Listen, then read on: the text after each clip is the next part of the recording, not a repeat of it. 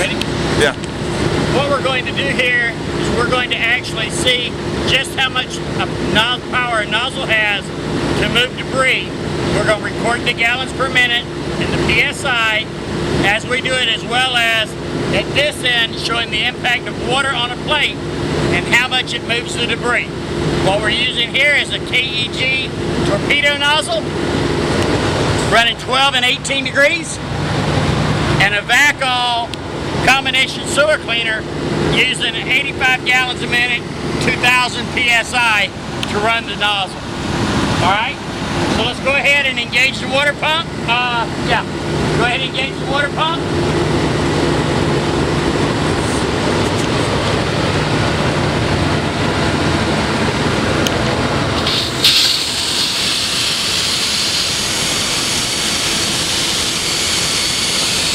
This nozzle is actually nine feet away from where the impact plate is.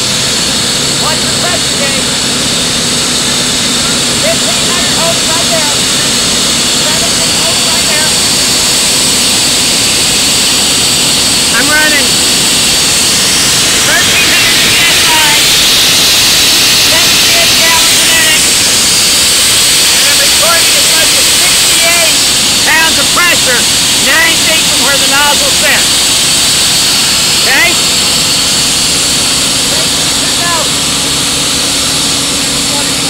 You're at 21 now? Alright. We're at 2100 PSI now. I'm hitting 69 pounds of pressure impacting where the nozzle is.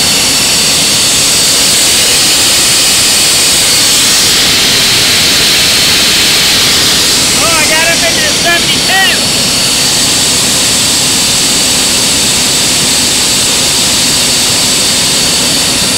really good.